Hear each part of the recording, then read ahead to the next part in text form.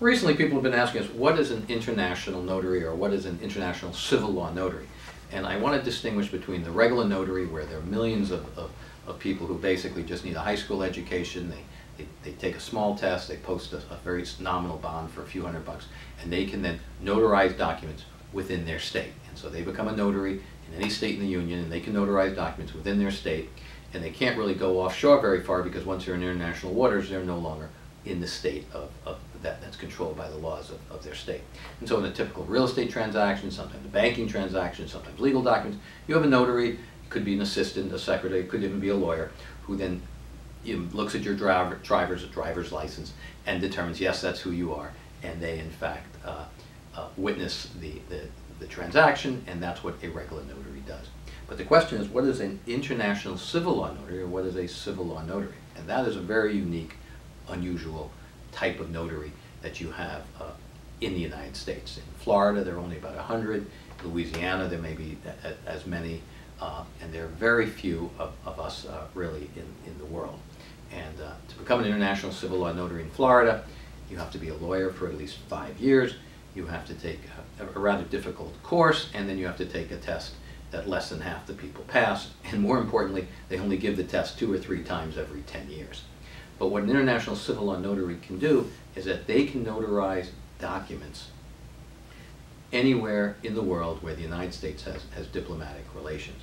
And so typically when you are here in the United States and you need a document uh, notarized for your home country, a regular notary does not have the capacity to do that. But an international civil law notary does, and therefore you have no reason to actually go to a foreign consulate. Same thing, you have no reason to really go back to a foreign country uh, to get a document notarized by in that local country because an international civil law notary here in the United States can execute that document for you. They also can, uh, can marry people, they also can uh, witness various documents, they also can uh, help you uh, effectuate uh, powers of attorneys that, that typically would require notarization back in a foreign country here in the United States. And so typically wherever you need a foreign notary uh, for a document, either here or abroad, you can use an international civil law notary. And what you can also do, which most people don't realize, is if you're buying a piece of real estate and you live abroad, typically you'd have to come to the United States to have your documents notarized. Or in the alternative, you'd have to go to the United States consulate, or maybe you'd be able to go to a, uh, a notary uh, in your foreign country.